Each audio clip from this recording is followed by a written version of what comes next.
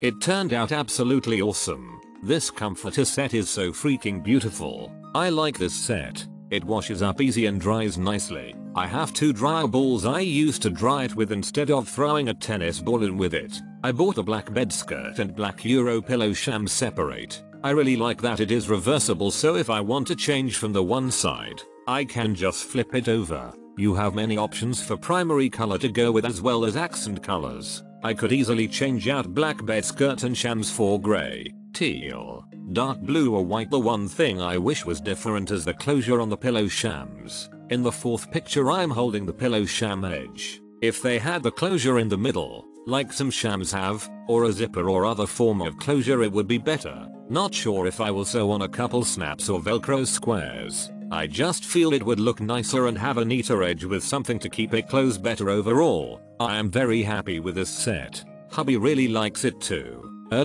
TM. They've been wanting a new bed set and finally found one that really stood out. I got this washed it and put it on and it's a yeah. TM. It's absolutely gorgeous. Great material and the color just absolutely pops. It's a yeah. TM. It's very much my taste and uh. TM. M through the roof ecstatic 10 stroke 10 would recommend side note I have queen size bed but I intentionally ordered a kind size set because my husband is a cover hog and I wanted the larger comforter. Whoa. I love this set more than any other set I have ever bought. It's so soft, comfortable, and warm. My 4 year old son won't even sleep in his own bed.